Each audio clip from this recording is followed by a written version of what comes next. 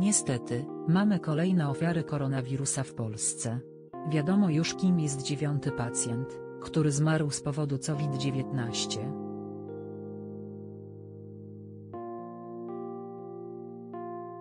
Prawdopodobnie zaraził się wirusem na pogrzebie.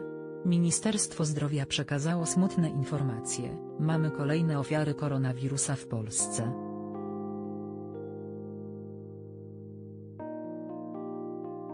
To już dziewiąty zakażony, którego nie udało się uratować. Służby sanitarne badają, gdzie ofiara mogła się zarazić.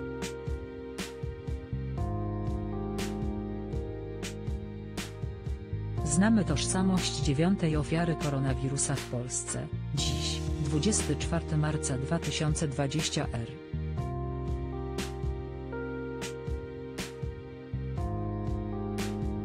O godzinie 5.30 w szpitalu w Puławach zmarł ksiądz Henryk Bożencki, zarażony koronawirusem.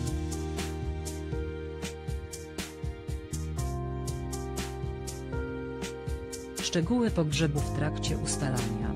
Świętej pamięci KS.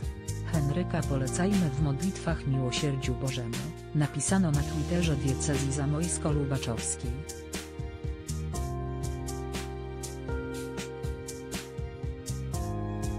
Godzinę po tych wieściach, Ministerstwo Zdrowia potwierdziło, że przyczyną zgonu było COVID-19.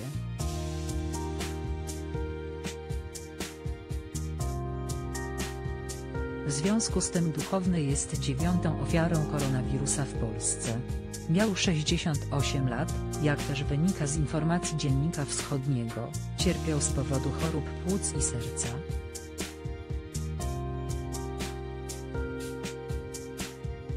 Najprawdopodobniej ksiądz zaraził się koronawirusem na pogrzebie Radio Lublin przekazało relacje mieszkańców Białopola, rzeka S.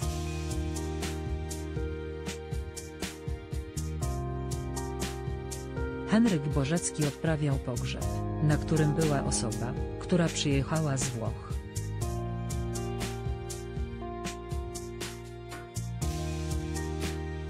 Ostatni raz mszę odprawiał 9 marca, gdy poczuł się gorzej, w zastępstwie nabożeństwo odprawił inny duchowny.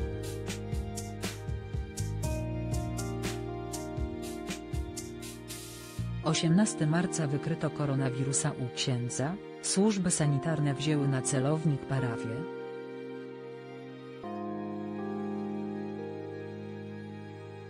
Dzisiaj grzeje, 1.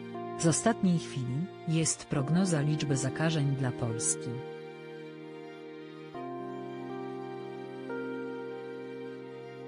Podano możliwą datę zahamowania epidemii 2. Nie żyje legendarna aktorka. Była zakażona koronawirusem, Kościół wyprzedził wszystkich.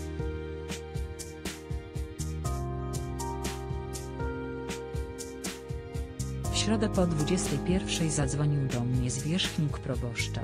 To było pełne zaskoczenie, bo nie sądziłem, że tak szybko koronawirus dotrze do nas.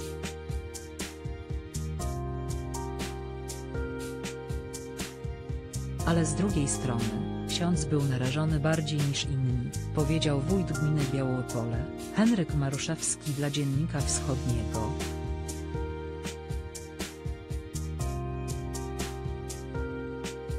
Najlepsze newsy dnia, źródło, wprost następny artykuł nie przegap żadnych najciekawszych artykułów.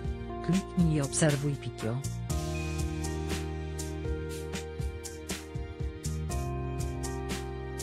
PL na Google News